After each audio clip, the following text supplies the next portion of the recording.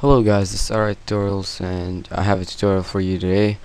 Uh, it's on how to create motion blur in Cinema 4D R13. This works for any version the same way. Uh, but before I start, I just want to say that uh, Cinema 4D R13 uh, is on my website. If you want to download it, it's free. Uh, the link to my website is on my channel. And uh, another thing is that some people were asking me uh, to create a tutorial on how to how I did the intro that I used to have. Um, yeah, um, I might create I might do that later, uh, but this time I'll just do this tutorial. Maybe when I have more time, I'll do another tutorial. So yeah, just to let you guys know. so open up Cinema 4D R13, and this is where what we're gonna be creating today as you can see when they when they spin uh, the cubes uh, there's motion blur around them. So that's pretty cool.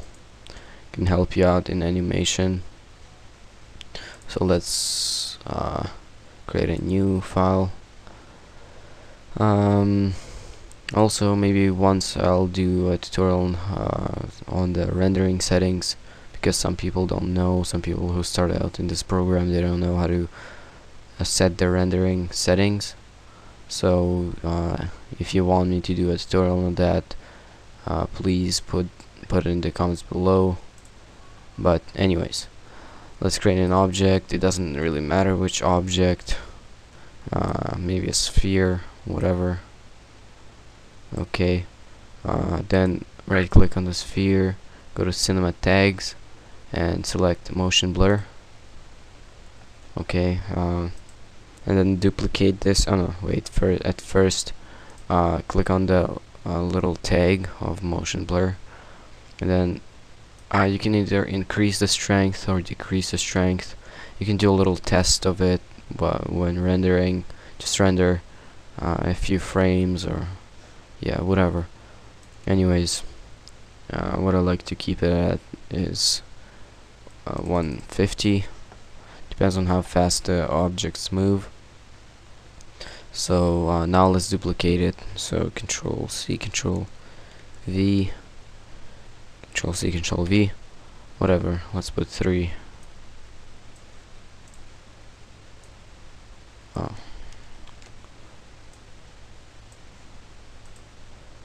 Okay let's just put them apart and let's select all of them. So first select first one hold shift select the last one.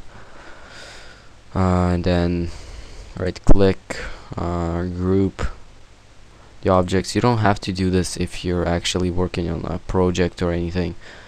Uh, this is just you know just to spin them around. I put them in a group so that we can spin them all around in you know the same sequence.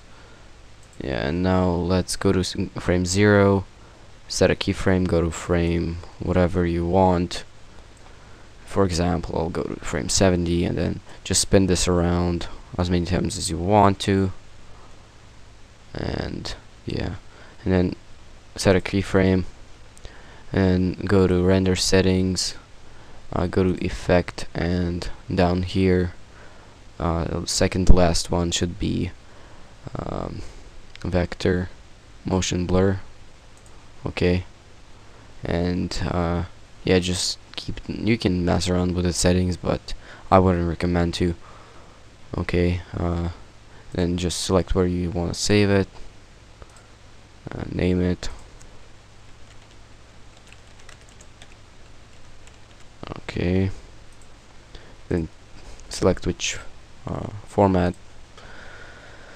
Okay and just yeah you can select whatever width and height you want 1280 by 720 is YouTube uh, HD settings. Anyways uh, let's render this.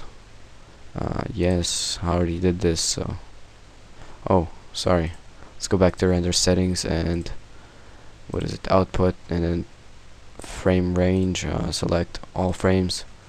And then let's try uh, let's try this again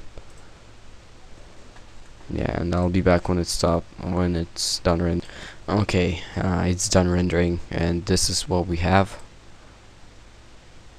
As you can see it looks quite nice actually. So this will be it for today's tutorial. Just a simple little you know tutorial.